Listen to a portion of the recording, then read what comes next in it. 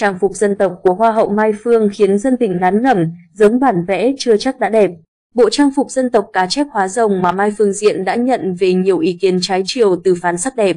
Phần thi trang phục dân tộc National Costume thuộc khuôn khổ cuộc thi Miss Grand Việt Nam 2022 sẽ diễn ra vào ngày 23 tháng 9 tới đây. Hiện tại, các nhà thiết kế cũng như thí sinh đang gấp rút hoàn thiện trang phục cũng như khâu fitting đồ. Được biết, các hoa hậu, á hậu cũng sẽ góp mặt trong phần thi này.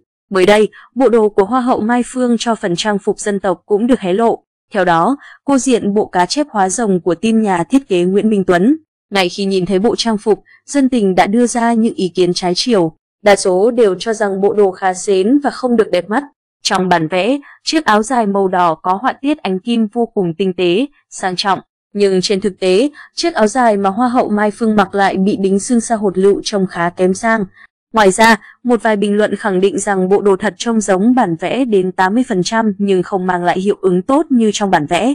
Thậm chí, có người còn cho rằng bộ đồ này giống như mô hình dạy học cho các bé mẫu giáo. Đặc biệt, Hoa hậu Mai Phương có chiều cao hạn chế nên khi diện bộ đồ này thì dường như bị nuốt chửng. Bình luận của netizen, giống bản vẽ đến 80% rồi, chỉ có điều là không đẹp mà thôi. Sao nhìn xuyến vậy trời do thiết kế là vậy hay tại xử lý chất liệu vậy? Mình thấy cũng ổn, dễ tính nên chấm cho mùng 6 tháng 10 điểm.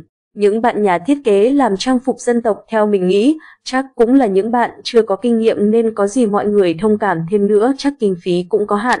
Cũng thấy giống mà mọi người nhưng có thể chưa xong.